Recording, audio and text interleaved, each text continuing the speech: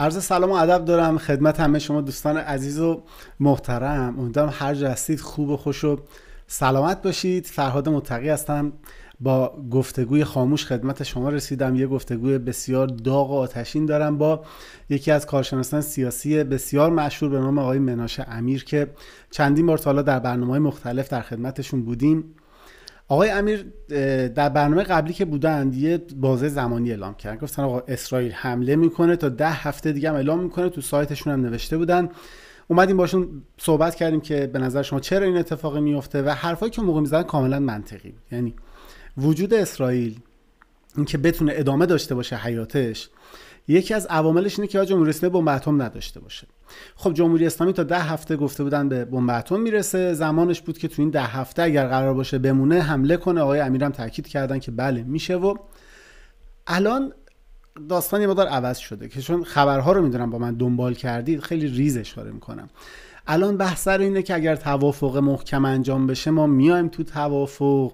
آقای بنت در خبری که در خود رادیو پیام اسرائیل خود سایتی که متعلق به آقای منوش امیره منتشر شده بود این بودش که گفته باید تحقیقات جدیتر انجام بدیم که ببینیم چی کار داره می‌کنه. که اینا اصلا به این بازه زمانی یک ماهی که میگن جمهوری اسلامی تا بمب فاصله داره نمی‌رسه.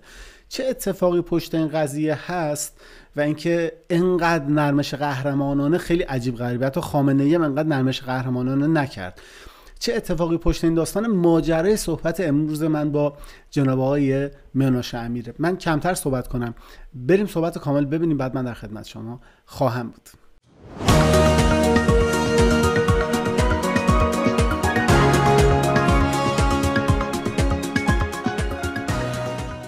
عرض درود و ادب دارم خدمت جناب آقای مناش امیر استاد مسلم خبرنگاری کسی که به حال پیش کسوت این عرصه هستند و خیلی ممنونم که قبول کردن دعوت این کوچک خبرنگار رو و به برنامه اخبار خاموش اومدن.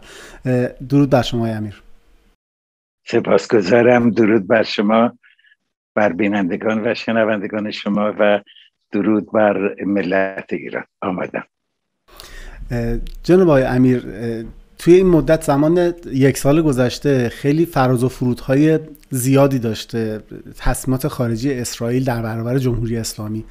شاید از دید شمایی که در داخل اسرائیل هستید یک استراتژی مشخص داره جلو میره. ولی از دید ماهایی که خارج از اسرائیل هستیم حتی منی که خارج از اسرائیل و خارج از ایران هستم به نظر میادش که بعد از اومدن آقای نفتالی بنت یه مقدار سیاست ها در ظاهر خشنتر ولی در باطن نرمتر شده. نظر شما در این رابطه چی هستش؟ ببینید در سیاست اصولی کشور اسرائیل هیچ تغییری حاصل نشده منظور سیاست اصولی؟ پیش در سیاست اصولی هیچ تغییری ایجاد نشده. از دورانی که نتانیاهو آمد و هنوز نخست وزیر هم نشده بود همین مواضع رو اعلام کرد و آقای بنت هم همین مواضع رو دنبال می‌کنه. منتها در شیوه تاکتیکی اسرائیل تلاش می‌کنه که یک تغییراتی بده. هدف همون هدفه فقط چگونه میشه به این هدف رسید؟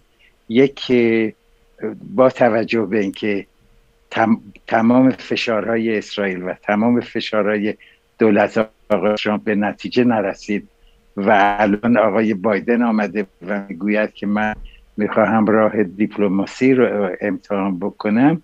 اسرائیل هم می‌دونه که نمی‌تونه این راه آقای بایدن رو تغییر بده.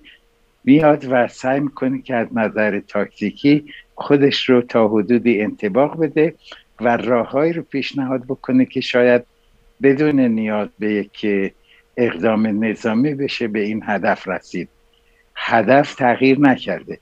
ما سخنان رهبران اسرائیل رو بگیم آقای نفتی بنت گفته است که ما در چهار محور علیه حکومت ایران فعالیت می‌کنیم و به چهار هدف باید برسیم. یکی برنامه های اتمیشه دوم برنامه های تسلیحاتیشه سوم برنامه های مشکیشه و چهارم فتنگری های حکومت ایران در منطقه. بنابراین هدف های اصلی و اساسی فرق نکرده. همونی است که هست. حالا از چه راهی میشه به این هدف ها رسید؟ ارز کردم به خاطر آقای بایدن تلاش می‌کنن که خودشون رو انتباق بدن و راه های دیگری رو پیشنهاد بکنن که شاید مورد توجه و قبول آقای بایدن قرار بگیره. تا اینجا. جناب آقای امیر همینطور که حالا خودتون هم در جریان هستید یه این بخش صحبتی که الان شما گفتید بخشی که کاملا مستحکم قوی هستش و آدم میگه خب اسرائیل استراتژیش مشخصه می‌خواد به این هدف برسه. حالا به بایدن گفته اگر تو از هر راهی غیر از حمله نظامی می‌تونی همچین دستاوردی داشته باشی ما هم قبول می‌کنیم. ولی اونجایی آدم به مشکل می‌خوره که وقتی میاد می‌بینیم که نفتالی بنت در ادامه صحبتاش میاد میگه که ما باید تحقیقاتمون رو در روی سایت های ایران زیاد کنیم تا بدونیم جمهوری اسلامی داره چی کار می‌کنه. و با توجه به اینکه در خبرهای قبلی این بازه زمانی کوتاه عنوان شده بود که از جانب خود بنیگانس ده هفته اعلام شده بود و ما با هم برنامه داشتیم الان میگن کمتر از یک ماه مونده. آیا مطرح کردن تحقیقات در رابطه با سایت یه مقدار دور از ذهن نیست. چون الان جمهوری اسلامی یه سری سایت های مخفی داره که حداقل خودش فکر می‌کنه اسرائیل نمی‌دونه. یعنی نمی‌دونه که اسرائیل می‌دونه این سایت هم وجود داره. ولی اون سایت که الان وجود داره و اسمش هست و همه چیش مشخصه الان بازرسای آژانس راه نمیده. چه برسه که حالا الان دنیا اگه بخواد تصمیم بگیره فشار بیاره که بگه آقا بازرسا رو راه بده. بعد حالا سایت های مخفی هم اسرائیل لیست بده. اونا هم به آژانس اضافه بشه شاید دو سال طول بکشه. این بحث تحقیقات این وسط چی بوده؟ من اینم بگم به شما که این مطلب در سایت خودتون اومده. تیتر سایت هم خودتون میدون ولی من می‌تونم نمایش بدم رو صفحه که چی بوده. نخست وزیر اسرائیل خطاب قدرت های جهانی گفته اسیر شعبده بازی رژیم ایران نشوید. ما در برابر آنها میستیم در همین خبری که در سایت رادیو پیام اسرائیل اومده این جمله در اواخر فرمایشات آقای بنت بوده. این بحث تحقیقات همینجوری یه چیزی بوده که ایشون عنوان کرده یا روش برنامه ریزی چیزی بوده؟ نه ببینید حتما اینجا یه اشتباهی رخ داده. نه تحقیقات بلکه بازرسی ها شما واژه رو واژه تحقیقات رو نمی‌دونم کجای خبر واژه تحقیقات آمده ولی بله. منظور بازرسیه. ببینید الان بازرسی ها تقریبا به صفر رسیده. اسرائیل دقیقا می‌دونه که در امور اتمی ایران چه میگذره و اگر صحبت از واژه تحقیقات است منظور این است که آژانس بین المللی باید به تحقیقات خودش در اون چهار موردی که حکومت ایران اولا سایت ها رو اعلام نکرده بود و پنهان کرده بود دوما هنوز نمیگه که در این سایت ها چه نوع فعالیت های جریان داشته. اسرائیل نیاز به تحقیقات نداره. همین چهار سایت رو دست کم سه تاش رو اسرائیل به آژانس اطلاع داد. بله. بنابراین اگرم واژه تحقیقات به کار رفته اشتباه بوده منظور این است که بازرسی ها باید انجام بشه. تحقیقات انجام شده و ما دقیقا می‌دونیم که در برنامه های اتمی ایران امروز چه میگذره. بفرمایید. جناب آقای امیر حتی اگر ما این کلمه رو بذاریم بازرسی به نظر شما فشار آوردن به جمهوری اسلامی می‌تونه باعث بشه که کمتر از این یک ماهی که خود اسرائیل گفته جمهوری اسلامی به بمب اتم می‌رسه آیا ممکنه فشاری رو جمهوری اسلامی بیاد که قبل از این یک ماه بگه آقا بازرسا بیان ببینن بعد بازرسا تا بیان ببینن برن گزارش تهیه کنن بخوان گزارش رو ببرن بدن مقامایی که حالا بعد روی اینا تحریم وضع بکنن. تا تحریما و یعنی یه زمانی که به این یک ماه نمی‌رسه. من به عنوان کسی از شما می‌خوام اینو بپرسم که اولا شما دارید در من منطقه خطر زندگی می‌کنید. یعنی سوا اینکه رسیدن جمهوری اسلامی به بمب اتم ماهیت کشور اسرائیل ماهیت وجودیش تهدید می‌کنه برای خود شما و خانواده شما هم که جزو همون خاک هستید و درون همون خاک دارید زندگی می‌کنید یک خطر بزرگ محسوب میشه. به نظر شما آیا استراتژی دیگری اسرائیل داره که در این یک ماهه بخواد ازش استفاده کنه؟ به خاطر اینکه این مواردی که الان داره عنوان میشه در مجامع بین المللی توسط دولت مردان اسرائیل هیچ کدوم قبل از یک ماه نمی‌تونه به نتیجه برسه. ما ببینید یک ماه از روزی که خامنه ای دستور بده که شروع کنید بمب رو بسازید. یعنی نقطه گریز ایران الان از یک سالی که هدف برجام بود رسیده به یک ماه. این به معنی این نیست که در ماه آینده این بمب رو تولید خواهند کرد. تا اونجایی که ما اطلاع داریم خامنه ای این دستور رو هنوز صادر نکرده. وقتی که صادر بکنه و شروع بکنن یک ماه در ظرف یک ماه می‌تونن یه بمب رو بسازن. اینه تصور. ولی ببینید هیچ چیزی رو به طور کامل خاطر نمیشه بیان کرد.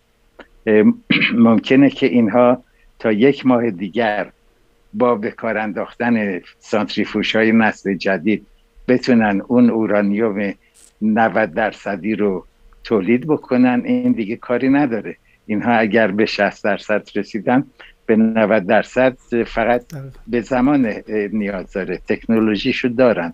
ولی یک مشکلات دیگری هم در این راه وجود داره که ارزیابی در برابرش یکم مشکله و اون این است که آیا اون فتیله رو ماشه رو تونستن درست بکنن؟ آیا اون فلزاتی رو که بمب رو باید توش بذارن؟ می‌تونن ایجاد بکنن. آیا می‌تونن این رو به صورتی در بیارن بمب رو به صورتی در بیارن که در کلاهک اتمی جای بگیره یا نه؟ ببینید مشکل در این است که اگر حکومت ایران بمب رو ایجاد کنه داشته باشه در اختیار داشته باشه و عملیات نظامی علیه تاسیسات اتمی رژیم ایران انجام بگیره اون موقع خطر تشعشعات رادیواکتیو هست. چیزی که نه فقط جان مردم ایران رو به خطر میاندازه بلکه قباری ایجاد می‌کنه که به تمام کشورهای منطقه و حتی اروپا ممکنه برسه. اینها محاسباتی است که باید در نظر گرفته بشه. ولی بهتون اطمینان میدم که مقامات اسرائیلی هوشیارن به دقت دنبال می‌کنن و تاکتیک ارز کردم تاکتیک یه ریزه تغییر کرده ولی استراتژی همون مونده و نسنجیده عمل نخواهند کرد. بنابراین خیلی مشکل ما بتونیم بگیم که تا ماه دیگر یا دو ماه دیگر یا سه ماه دیگر واقعا در منطقه چه رو خواهد داد؟ به ویژه که بستگی به دو بازیگر اصلی داره. یکی حکومت ایرانه که آیا برمیگرده به میز مذاکرات یا به غنیسازی 60 درصدی ادامه میده. آیا بالاخره تحت اون فشاری که شما بهش اشاره کردید حاضر خواهد بود؟ به بازرسان بین المللی اجازه بازرسی دقیق بده.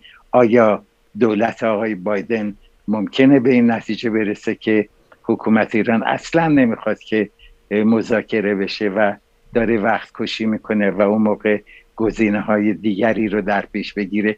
اگر هم گزینه دیگری رو در پیش بگیره منظورش کدام گزینه است؟ من بعید می‌دونم که در حال حاضر گزینه ای که آقای بایدن ممکنه بهش برسه گزینه نظامی باشه. اینها همه بله. عواملی مهره های شطرنجی است که ما هنوز دقیقا نمی‌دونیم کجا میشه اونها رو قرار داد و وضع چه خواهد شد. خطر بسیار زیاده خطر خیلی فوریه ولی نسنجیده هم نباید عمل کرد. این است که نگران اسرائیل نباشید. اسرائیل می‌دونه و دنبال می‌کنه و بررسی می‌کنه. برنامه ها همش آماده است. فقط باید با احتیاط کامل عمل بکنه. تا اینجا. آقای امیر ما نمی‌تونیم نگران اسرائیل نباشیم. با همه خیلی دوستای زیادی در اسرائیل داریم.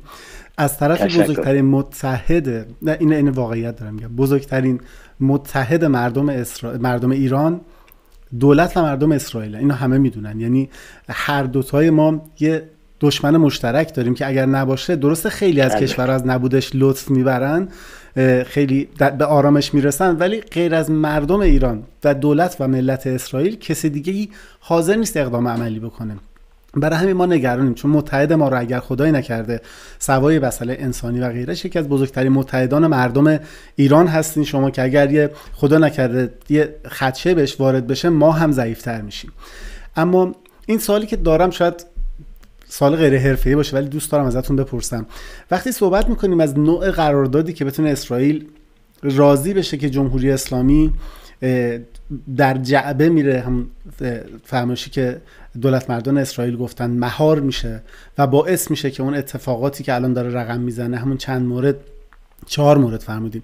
این چهار مورد بخواد کنترل بشه یه خود این هر چی که من فکر می‌کنم من میگم اگر قرار باشه آقای مناش امیر این توافق نامه رو بخواد بنویسه چه توافق نامه ای میشه نوشت که اگه جمهوری اسلامی امضا کرد دادن بدون انجامم میده.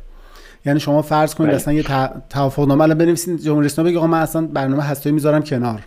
خب اگر شش ماه دیگه فهمیدیم یه طور آباد دیگه این سری مثلا تو چه علی آباد ممسنی در اومده اونجا دارن کار می‌کنن چی کار میشه کرد واقعا؟ بله. ببینید من در یه مصاحبه دیگری در مورد معایب حمله نظامی دو مطلب رو گفتم و یه نتیجه گیری کردم. تو مطلب این است که فرض بفرمایید که شما می‌خواید که با حمله نظامی برنامه اتمی حکومت ایران رو نابود بکنه خیلی خوب. تصمیم شما درست. ولی این تاسیسات در هشت نقطه نه نقطه ده نقطه ایران پراکنده است. و این یک قدرت عظیم نظامی می‌خواد که همه اینها رو نابود بکنه. البته تاسیسات اتمی به صورت یک زنجیر. شما یک حلقه از این زنجیر رو که در بیارید این زنجیر پاره میشه. یعنی یکی از تاسیسات اگر نابود بشه فعالیت اتمی متوقف میشه در یه جایی متوقف میشه. ولی این توقف می‌تونه کوتاه باشه. شما می‌تونید تاسیسات رو نابود بکنید ولی نمی‌تونید دانش و تجربه اتمی رو نابود بکنین. اون امکان نداره. بنابراین بمباران کردن یک راه حل فوری نیستش. راه حل دائمی نیستش. دوم اینکه حکومت ایران می‌تونه با توجه به انواع و اقسام راه ها اون رو اون تاسیسات رو انجام بده و دوباره اونها رو برپا بکنه. یعنی شما حتی اگر تاسیسات رو نابود کردید میشه دوباره ساخت و اون چرا که نمی‌تونید نابود کنید دانش و تجربه اندوخته شده است. این این است که راهکار نظامی راهکار نهایی نمی‌تونه باشه. حالا یک راهکار ابدی وجود داره که انشالله بی هزینه هم باشه و ابدی و همیشگی باشه و این آن اینکه این حکومت عوض بشه. وقتی که این حکومت عوض بشه و بیفته مسلما اگر یک حکومت ملی و مردمی در ایران به روی کار خواهد آمد که احتمالش خیلی زیاده که اگر این بیفته اون یکی دیگه ایدئولوژیک نخواهد بود بلکه در راه رفاه مردم فعالیت خواهد کرد. اون موقع مسئله اتمی ایران حل میشه چون ایران آینده نه اتم می‌خواد نه موشک می‌خواد نه فتنگری در کشورهای همسایه می‌خواد نه گروه های مزدور و نیابتی می‌خواد. ایران آینده و رهبرانش بیشترین تلاششون این خواهد بود که ایران نیم ویران رو بازسازی بکنن. و این است که تمام اون برنامه ها رو کنار خواهند گذاشت. این است راه حل نهایی برای مسئله اتمی ایران. تا اینجا. بسیار عالی. این راه حل نهایی می‌تونم بگم این هدفه ولی الان خیلی چشم اندازش نزدیک نیست. تو برنامه قبلی که صحبت کردیم بحث سر این بود. من خودم خیلی خوشحال شدم. شما گفتین آقا بحث سر زدن نیروگاه نیستش که. به قول خودتون تو برنامه اشاره که اینا مراکز سرکوبو بزنن بقیهش مردم خودشون می‌گیرن این منبرش بلند می‌کنن اینا رو میندازن بیرون. مسئله سر مراکز سرکوبه وگرنه بله اینا هر جای اتمی و هسته‌ای بخوام بزنی اولا خب بالاخره اون تشعشعات رادیواکتیوش دوباره ممکنه خطرناک بشه بعدم اینا میرن می‌سازن. بله. مهمترین اتفاق اینه و امیدواریم که اگر یه موقع همچین اتفاقی باشه مراکز سرکوب شما فهمیدی پادگانای سپاه هم میگه والا همه مراکز سرکوب اگر بزنن اون موقع مردم خیلی راحت‌تر میان تو خیابون. آقای امیر یه سوال بپرسم از شما. شما چند درصد خودتون رو ایرانی می‌دونید چند درصد اسرائیلی می‌دونید؟ همیشه بر من سوال برای کسایی که دو وطن دارن. ولی من بارها به این پرسش پاسخ دادم. ببینید من صد درصد ایرانی هم ایران زادگاه منه. فرهنگ من فرهنگ ایرانی است و آرزوی من آرزوی دیدن دوباره ایرانه و من صد درصد اسرائیلی هستم. هم یهودی هستم هم فرهنگ یهود رو بسیار دوست دارم و ارج و ارزش براش قائل هستم. هم کشور اسرائیل یک کشور دموکراسی یک کشور آزادی یک کشوری است که واقعا مردمش وطن خودشون رو دوست دارن. در راه وطن خودشون تلاش می‌کنن. اسرائیل همیشه این رو گفتم. هفتاد دو سال پیش که اسرائیل یا سه سال پیش که اسرائیل استقلال دوباره خودش رو اعلام کرد. این کشور فقط 600 هزار نفر جمعیت داشت و انقدر فقیر بود که اگر شما می‌خواستید بزرگترین و گرانبهاترین هدیه رو برای یه خانواده ببرید نیم کیلو انگور بود و شاید یک کیلو سیب زمینی یا گوجه فرنگی. امروز اسرائیل یکی از قدرت های اقتصادی بزرگ جهان شده. یکی از دموکراسی ترین کشورهای منطقه است. نگاه کنید ببینید تو کشورهای منطقه چه میگذره. همه جا کشدار می‌کنن همه جا حق دیگران رو پایمال می‌کنن. در افغانستان زنان در ایران اقلیت اهل تسنن کردها هستن بلوچ ها هستن ترکمن ها هستن که سرکوب میشن و زنان سرکوب میشن حتی در ببینید در عراق چه میگذره در سوریه چه میگذره. ببینید لبنان الان با چه وضعی روبرو هست. ببینید چقدر آدم کشی در یمن جریان داره. اینها همه رو بذارید در کنار اسرائیل که یک جزیره ای هست. جزیره هم نیست هم مرزه که در همین منطقه قرار داره و جزیره دموکراسی آزادی تصاوی حقوق پیشرفت اقتصادی پیشرفت علمی پیشرفت همه چیز در همه رشته ها هست. بنابراین من افتخار می‌کنم که در اسرائیل زندگی می‌کنم و افتخار می‌کنم که ایرانی هستم. حالا به حال دیگه دو تا صد درصد نمیشه که لاغا بگیم پنجا پنجا ولی نه نه نه صد درصد. صد درصد ایرانی صد درصد تمام نمیشه صد درصد این ور صد درصد. من یه شما فوتبالی هستین صد درصد رو میشه دویست درصدش این علی پروینی بود دیگه خواهش می‌کنم. شما فوتبالی هستین؟ نه متاسفانه روی من سیاه. من من می‌خواستم پرسم مثلا اگه فوتبال ایران باشه و فوتبال اسرائیل که من آرزوم یه روزی بالاخره این ایران آزاد میشه ما بتونیم روابط ورزشی که خیلی عقب افتاده رو جلو بندازیم. مثال فوتبال می‌زنیم چون فوتبال هیچ نمی‌تونه بگه آقا من طرفدار هر دو تا تیمم. بالاخره اون ته ته دلش میگه آقا خدا کنه اینوری گل بزنه یا اونوری که فوتبالی نیستی از این سوال میگذرم. من می‌خواستم یه خواهش نه نه من به شما پاسخ میدم. میگم اون که بهتره اون که تاکتیک بهتر به کار می‌بره اون برنده بشه و من خوشحال میشم. از زیبا شناختی درستی کردین شما. پیرو پیروزی نصیب بهترین بشه و من خورسند میشم. بفرمایید. آقای امیر من یه برنامه از شما دیدم. من در فضای مجازی دیدم ولی شما تشریف برده بودی یک تلویزیونی. با آقای مهدی خزعلی داشتید بحث می‌کردید. بله. من انقدر ناراحت شدم حال شما رو دیدم که اصلا تو دلم داشتم گفتم آقای امیر چرا باید با به حال این اطلاعات با این تجربه با این سن و سال بره جلوی یه آدمی که معلوم الحاله یعنی ایشون یه سری ببخشید عراجیف که نصف بیشتر این عراجیف از همون آقای رائفی پور رسیده بیاد شروع کنه گفتن و شما اینقدر برف روخته شده گفت خدا سلامت بمونه. فقط این آقای امیر اتفاق براش نیفته. یهود نه قوم یهود. سهیونیست سهیونیست قبول ندارم. آقای خزلی تمام یهودیان سیونیستن. سیونیست یعنی کسی که یهودی که اعتقاد داره باید به طرف اورشلیم نماز بگذاره. وقتی که خاخام یهودی میگه که یک زن یهودی می‌تونه بره به خاطر اهداف قوم یهود هم بستر مرد مسلمان بشه مثل ملکه استر که رفت زن خشایار شد استنادش ملکه استر. دروغ میگید آقای خزعلی.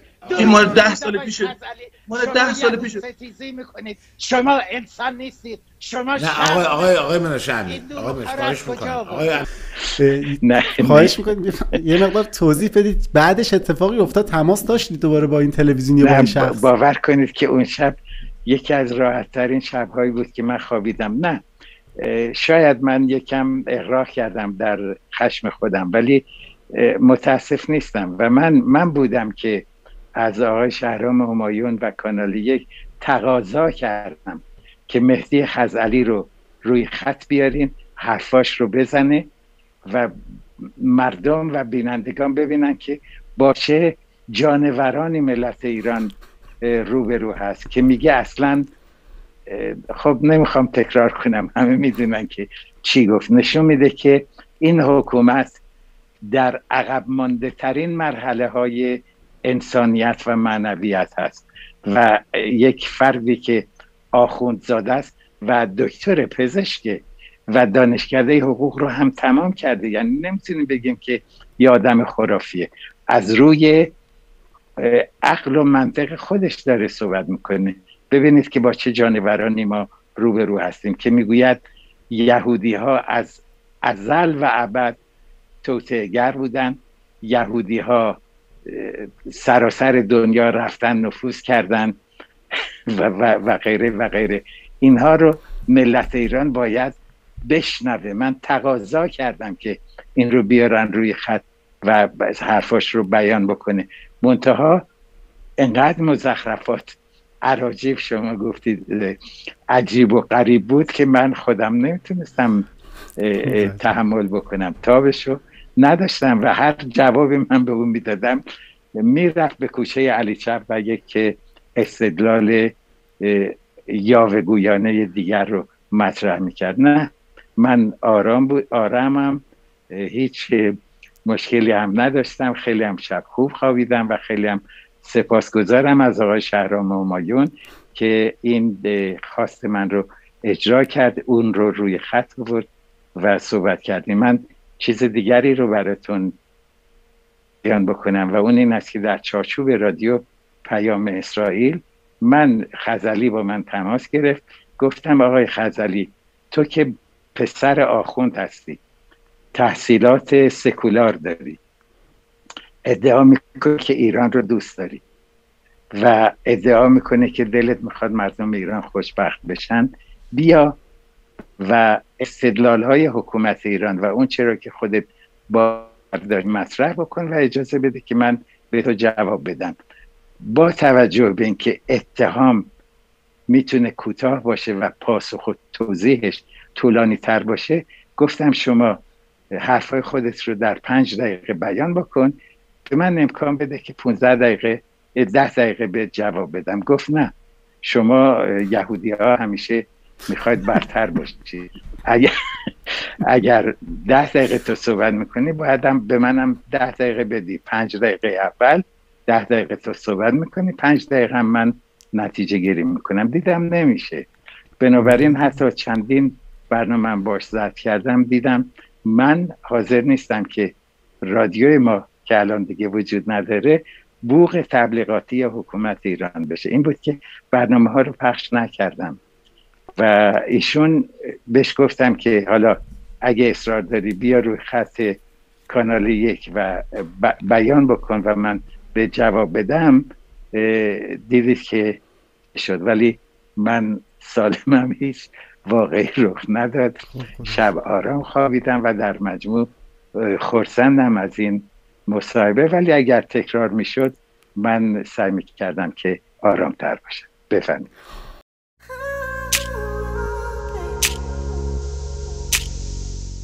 و حرکت می‌کنیم.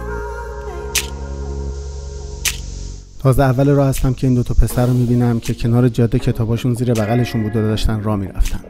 این دارم با خودم برمیدارم و به راهم ادامه میدم.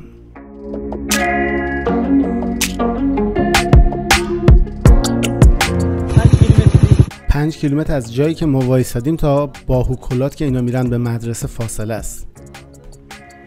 هنوزم جلوترم نزدیک به 4 5 کیلومتر فاصله است تا به روستاشون برسیم. یعنی روزانه باید 10 کیلومتر برن تا به مدرسهشون برسن. نگاه کنیم باید از این روستا پیاده برن برن برن تا به جاده شنی برسن. اگه یه موتوری ببینن که خوبه وگرنه باید کل مسیر رو پیاده برن تا برسن اینجا. از اینجا تازه جاده خاکی شروع میشه تا برسن به باهوکلات. یعنی تا قبل از این جاده خاکی هم نبوده تازه زدن. یعنی هر روز باید این مسیر رو طی کنن 11 کیلومتره همونطور که خودتون دارین می‌بینید اینجا نه راه شنی هست نه آسفالت. یه بیابون خداست بهتر بگم یه دشت خشکه اسم چی عزیزم؟ نمی‌دونم محسن. کلاس چندمیه؟ هفتم. هشتم. کلاس هشتم. چه کیلومتر فاصله سی زانی نزانه؟ ده کیلومتر فاصله بیتی؟ یعنی ده کیلومتر شما را اگه اولاک مرسی شما پیاده گروه کایتا؟ بابات شغلش چیه؟ بابام گاوا رو می‌بره چرا؟ درس خوندن رو دوست داری؟ آره درس خوندن رو دوست داری؟ می‌خوای بیشتر یاد بگیری؟ آره می‌خوای چی کاره بشی؟ معلم می‌خوای معلم بشی واسه چی؟ واسه چی؟ واسه اینکه بیام دوباره تو روستا درس بدم درس بدی که بچه های همسن و سالت مجبور نباشن انقدر پیاده برن تا به مدرسه برسن؟ آره. این بند خداها دنبال علف رفته بودن.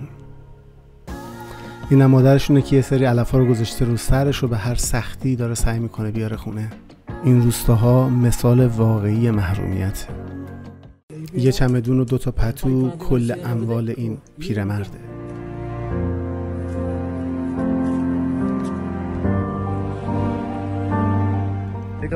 این کل زندگی اون پیرمرده. همه دار و ندارش همیناست.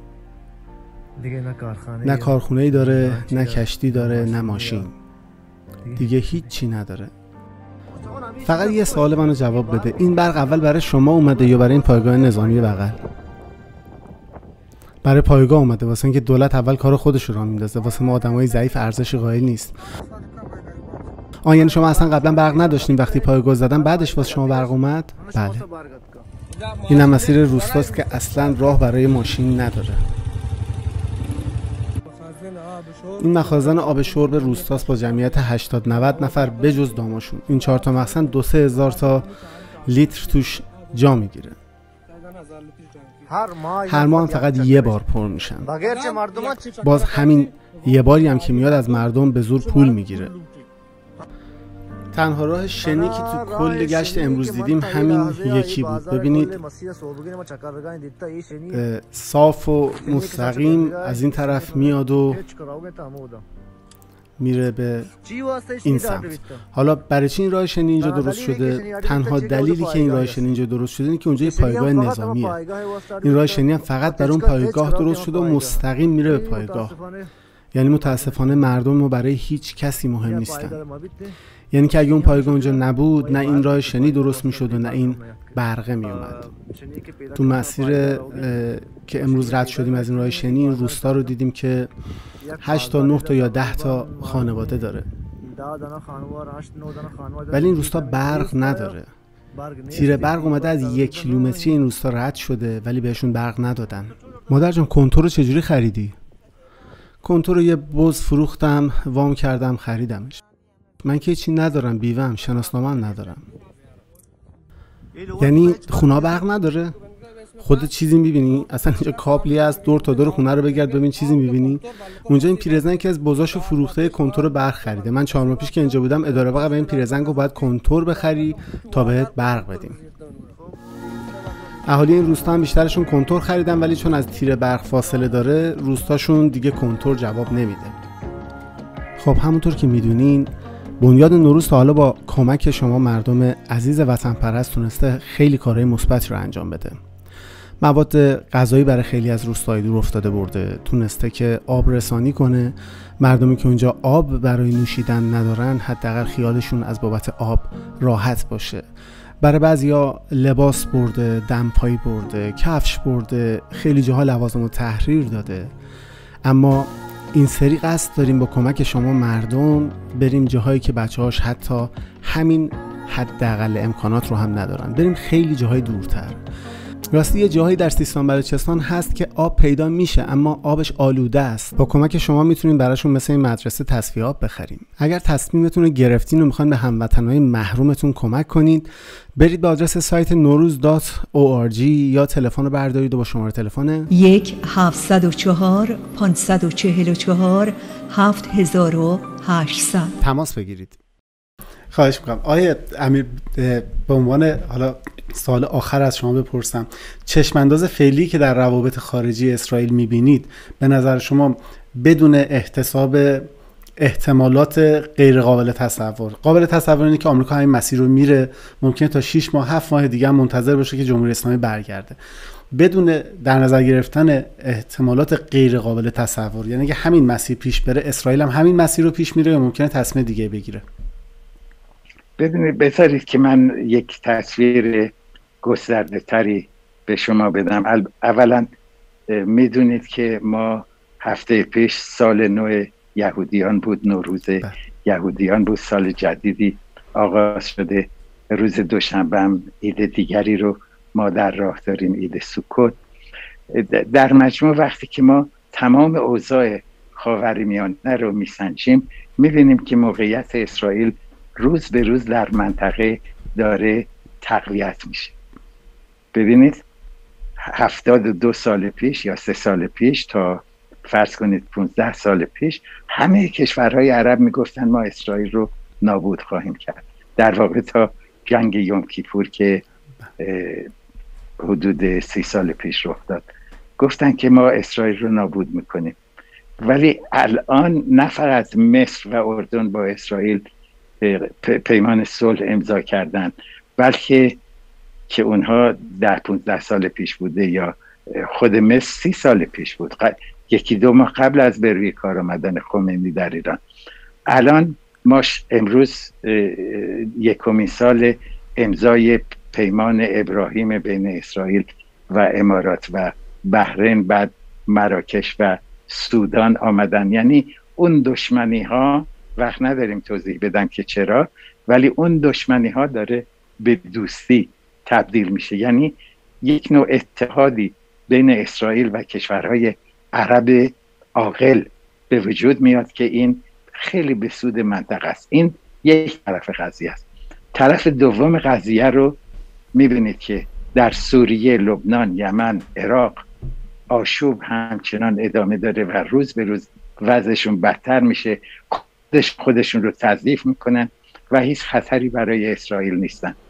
می‌بینید که ایران واقعا ملت ملتش داره بدبخت میشه. بدبخت شده و روز به روز بدبختتر میشه و تمام این تهدیدهای حکومت ایران هم ممکنه تهدیدهای تو خالی باشه. البته دست کم نمی‌گیرم. ممکنه که حملات موشکی بشه علیه اسرائیل. ولی این براشون جنبه خودکشی خواهد داشت. بعد ببینید که در افغانستان چه میگذره چه مردمی که داشتن گام های نخستین رو در راه پیشرفت برمی داشتن به چه بدبختی و مهنتی دچار شدن. بنابراین منظره رو نگاه بکنید در سراسر منطقه. تنها یک کشور وجود داره که مرتبا تقویت میشه مرتبا دوستان بیشتری پیدا می‌کنه و در راه پیشرفت و تکنولوژی و غیره و غیره داره گام برمیداره و باعث خورسندی و خوشوقتی است که نمیگم خطر وجود نداره. همیشه خطر وجود داره. ولی در تا به حال تمام تهدیدها علیه اسرائیل بی نتیجه بوده. این کشور روز به روز قوی تر میشه. ارتباطات بین المللی بیشتری داره. رفاه مردمش بالاتر میره. الان می‌تونیم بگیم که اسرائیل یک کشور غنی هست. و حتی در حدی که وزیر دفاع اسرائیل میره پیش آقای محمود عباس بهش میگه که ما حاضریم 500 میلیون دلار به شما وام بدیم که وضع اقتصادیتون رو بهتر بکنیم. تا اینجا آقای امیر درست میگن خیلی از تصمیمات مهم بعد از این عید هفته دیگه گرفته میشه؟ یا ربطی نداره؟ من نمی‌دونم دقیقا شما به کدوم تصمیمات اشاره می‌کنید ولی باید این این بازی این مسخره بازی این وقت کشی در یه لحظه معینی تمام بشه. بله. بله. چقدر چقدر ایالات متحده حاضره که منتظر بشه که میاد یا نمیاد. آقای بلینکن گفت آقای بایدن گفت که اینها تا ابد منتظر بازگشت حکومت ایران نخواهند بود. یعنی ما داریم به آخر خط نزدیک میشیم. حالا ممکنه هفته دیگه باشه ممکنه یک ماه دیگه باشه یا شاید یک سال دیگه باشه. وقایع سیاسی و بین المللی همیشه به دقت قابل پیش بینی نیستش تا اینجا.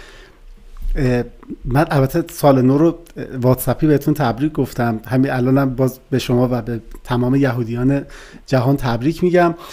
شما به عنوان یک کارشناس مسلط سیاسی نمی‌خوام فقط در مورد اسرائیل بپرسم سال آخرمو می‌خوام از شما در مورد افغانستان بپرسم که بله.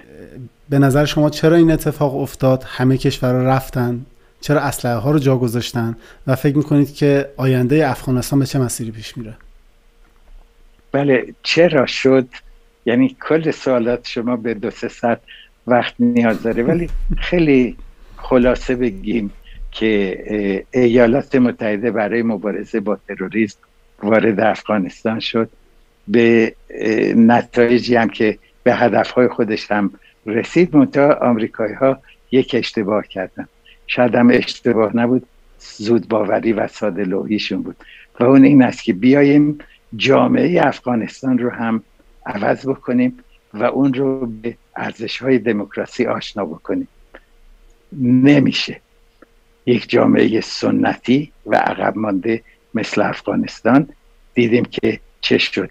کی این مصیبت رو به راه انداخت؟ دو عامل بزرگ وجود داشت. یکی اینکه خود مردم افغانستان مردمی بسیار سنتی هستند و به ارزش های قدیم پایبندن و حاضر نیستن که عوض بکنن. همین امروز شما می‌بینید که یه ده زن چادری و چاقچوری رو برقه برقه پوش آوردن توی خیابان ها که میگن ما شریعت اسلامی می‌خوایم مرگ بر دموکراسی و غیره و غیره. خب این درسته یک نصفشون مرد بودن برای عکسشون نه. صدا صدای زنانه بود. یا لاقل اون کسی که شعارها رو می‌خوند که بله. جواب بدن. ولی به هر حال دست کم نگیریم. اکثریتی یا یک اقلیت بزرگی در جامعه افغانستان افراد متعصب بله. مذهبی هستند. بله. اونها بودن که به طالبان و به القاعده و به داعش کمک کردند. این یه موضوع موضوع دیگر مسئله فساد اخلاقی و بیدینی. من میگم اینا دین ندارن. به دین تظاهر می‌کنن ولی دین ندارن. چون دین می‌گوید دزدی مکن. اینها از خزانه ملت هر چرا که توانستن دزدیدن. ببینید آقای بایدن می‌گوید که ما دو هزار میلیارد دلار در افغانستان هزینه کردیم. می‌گوید که 89 میلیارد دلار ما در ارتش افغانستان هزینه کردیم. این پولا کجا رفت؟ یه مقدار زیادی تو جیب افراد رفت. یعنی دوز بودن. ارتشی رو درست نکردن که از وطن دفاع بکنه. اینها و مسئله جا گذاشتن اسلحه من واقعا نمی‌دونم ابعاد اون سلاحایی که جا گذاشته شده چقدر بوده و این رو بذارید به حساب برنامه ریزی غلط ارتش آمریکا و دولت آقای بایدن که این همه اشتباهات مرتکب شدن در جریان اجرای تصمیمی که اوباما داشت ترامپ داشت و خود بایدن داشت. ولی شیوه اجرای این هدف یعنی خروج نیروهای آمریکایی از منطقه بسیار بسیار بد اجرا شد. تا اینجا. احمد مسعود و آینده افغانستان. فکر می‌کنید که احمد مسعود بذاریم کنار. فکر می‌کنید که این روند همینجوری ما شاهد یه ده سال 20 سال سی سال خونریزی و اینا در طالبان هستیم یا ممکنه قدرت های جهانی دوباره برگردن برن تو افغانستان بخوان چیزی عوض کنن؟ ببینید این سوال خیلی خوبیه و پاسخش بستگی به رفتار جامعه جهانی داره. مسلم این است که طالبان هیچ ندارند جز سرکوب مردم. نه پول دارن نه اقتصاد دارن نه مدیریت بلدن. یعنی همون فاجعه که در ایران رخ داد خیلی بدتر و شدیدتر ندارن. و این است که کشور افغانستان در تسلط طالبان روز به روز بدبختتر خواهد بود. مردمش گرسنه هستن. ببینید الان میگن 97 درصد از مردم افغانستان زیر خط فقر قرار دارن و سازمان ملل التماس می‌کنه میگه که براشون دارو و غذا و کمک بفرستیم. اگر واقعا این کمک ها به افغانستان سرازیر بشه وضع مردم بهبود پیدا بکنه طالبان تقویت خواهد شد. اگر مردم افغانستان این رنج رو همچنان شاهدش باشن برمیخیزن و دفاع می‌کنن ما امروز نه فقط پنجشیر رو دیدیم بلکه تظاهرات زنان افغانستان. آفرین به زن افغان. ما باید یاد بگیریم ازشون. بله. ببینید چقدر تلاش می‌کنن و چقدر مبارزه می‌کنن. این است که پاسخ بپرسه شما به عوامل متعددی بستگی داره که در حال حاضر پیش بینیش ممکن است. خیلی سپاسگزارم آقای امیر. ممنونم که تشریف آوردید به اخبار خاموش و تو خدا موضوع سلامتیتون باشید تو برنامه های عصبانی کننده کمتر برید.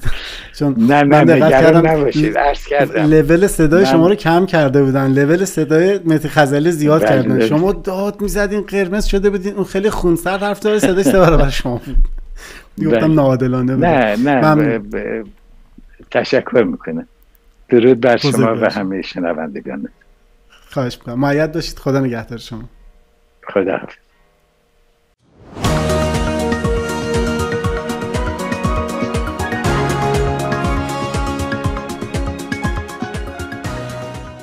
خب دوستان عزیز و محترم امیدوارم که این گفتگو رو پسندیده باشید. این لطف آقای امیر بود که باز هم قبول زحمت کردن تشریف بردن به این برنامه. ممنونم ازشون. امیدوارم که تونسته باشه اطلاعات شما رو بالاتر ببره. یکی دو تا نکته خیلی مهم داشت کل صحبت که خیلی کوتاه بهش اشاره شد. مطمئنم همتون انقدر باهوش هستید که متوجه شدید. وایسیم ببینیم تا هفته دیگه تا دو هفته دیگه چه اتفاقی قرار بیفته. امیدوارم که هر اتفاقی میفته به نفع مردم عزیز کشورمون باشه. به قول دوستان بدون درد خونریزی بتونیم اون اتفاق خوب و آزادی خودمون رو جشن بگیریم. ازتون خواهش می‌کنم اگه تا حالا در کانال subscribe نکردید گزینه subscribe زیر ویدیو رو بزنید که در زمانی که برنامه داریم برای شما پیام ارسال بشه و ممنون میشم که اگر ویدیو گفتمان و این بحث رو پسندیدید لایک بزنید و در فضای مجازی با دوستانتون به اشتراک بگذارید. خیلی ممنونم که با ما همراه بودید. تا درودی دیگر بدرود و خدا نگهدار.